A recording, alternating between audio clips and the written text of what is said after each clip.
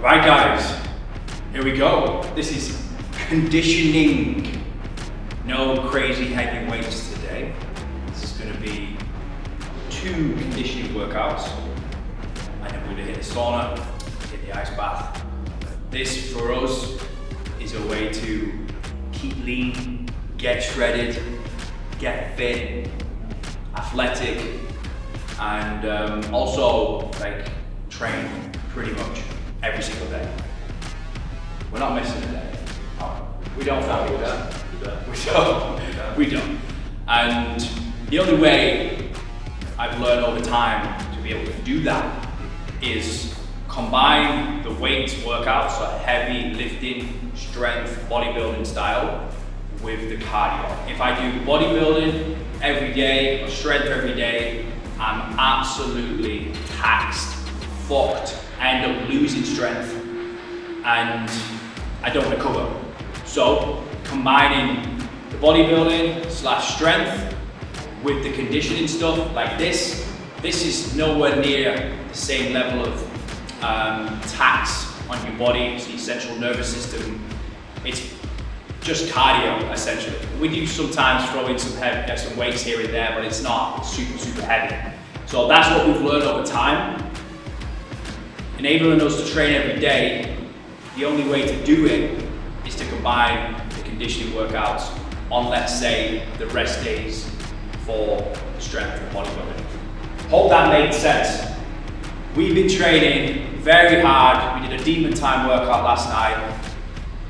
I cleansed some demons, cleansed some sins. And but we're here again in the morning.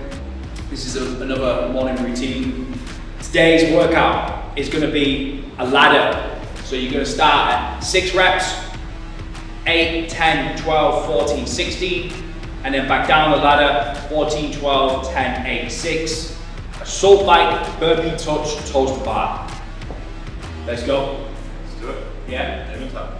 Demon time. Also, yeah, um, what I want to mention, guys, as well, is for me and Reese, and for a lot of people who recognize this type of training, what it does for me, it gets me in that mental state, um, performing at a high frequency, like getting my heart rate up.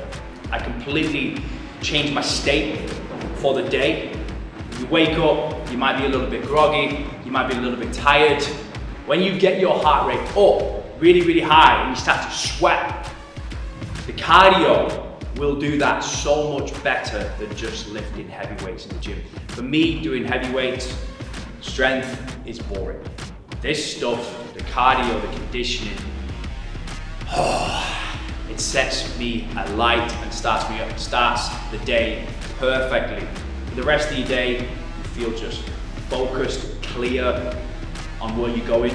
And then towards the end of the day, you'll feel yourself as well start to slip and start to get maybe a little bit tired, not as energized. Let, let things get to you a little bit with work, business, relationships. So that's why, again, I will probably hit another workout later on tonight. It just keeps me, keeps me sane, keeps me calm, keeps me cool, keeps me collective. What are we saying? Yeah? Yeah, yeah, yeah, yeah, yeah. yeah, yeah. Right, let's fucking go.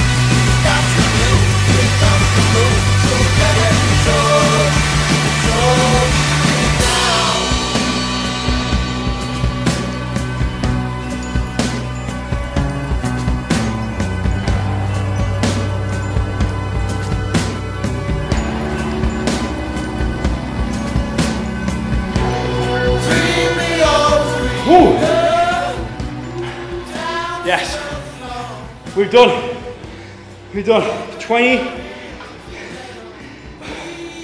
what's that, 23 minutes, 400 calories, average heart rate, 149. Dude's fucking paid, baby. What we did, because it was a ladder, um, going from six up to 16, because we're working in pairs, one of us used the ski erg the first half, and then the other one used the assault bike. When we got to 16 cals, we switched. Um, yeah, that was tasty. That was fucking tasty. Love it. Here we go. Physique shot, baby. Physique shot. Oh.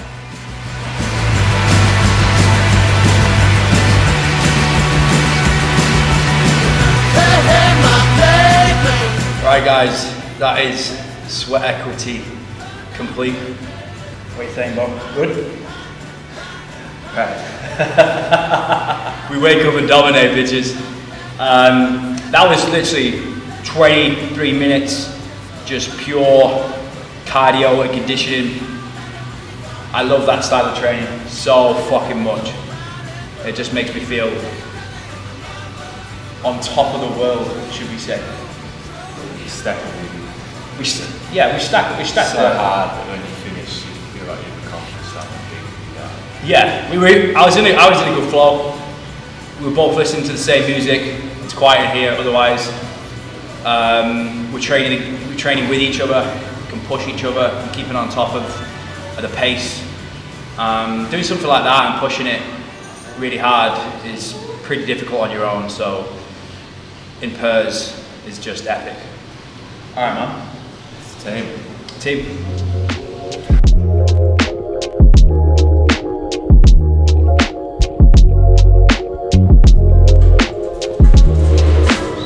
To get cold. Time to get cold. Time to get hot. Another body cleanse.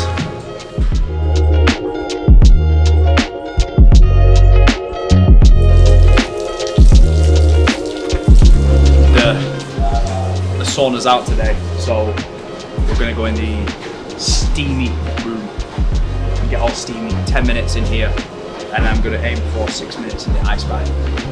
Um, guys, don't worry, it's all good. You're not meant to, based on research, go in the ice bath after training. I don't care. In a minute, I've just done some cardio. It's not a weight session. So all you snowflakes out there, please keep the mouth shut. Yeah. it's not the end of the world. We're not gonna die. I'm not gonna lose my gains. I'm jacked. I'm fit, and I fucking want to go in the ice bath after the workout.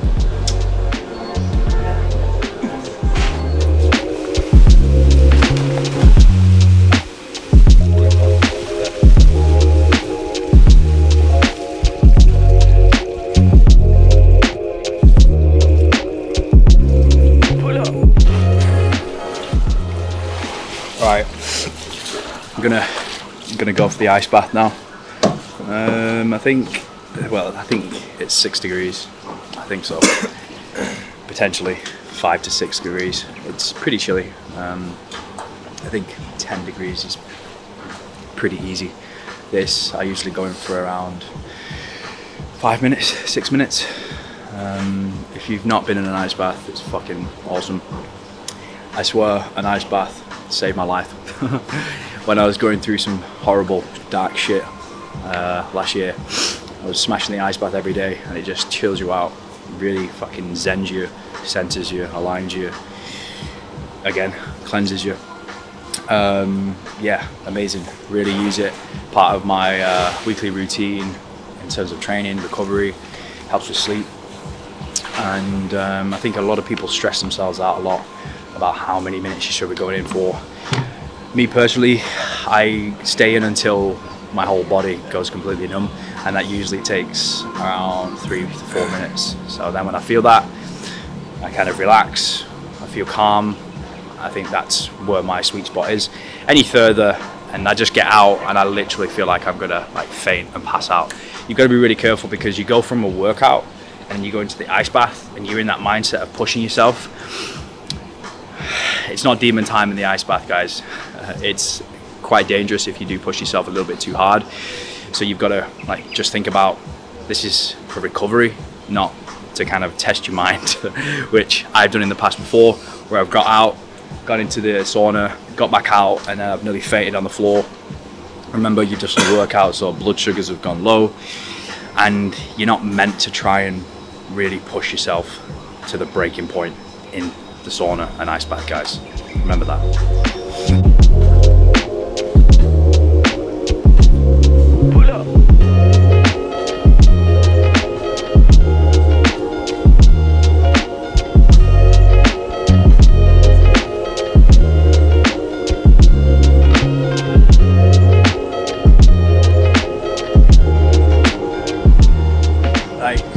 Biggest tip for you guys is to don't stay in one to two minutes. You need to go past that because when you get past three to four minutes i feel anyway i go completely numb.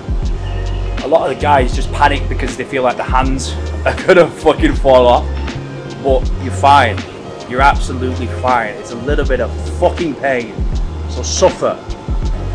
Because when you get past that point there's no real there's like a point of pain. And when you get up to that it doesn't go any higher. So when you've got to that threshold of pain in the water it doesn't go any higher. So you hit it hold hold hold and then you relax. And it's easier. That's the best technique i could tell you. Just like when you're training in the gym you get into flow state when you've hit that threshold you get that second wind, I call it, and then just fucking keep going. But remember, we're not gonna push ourselves too far. This is five minutes, so I'm gonna get out now.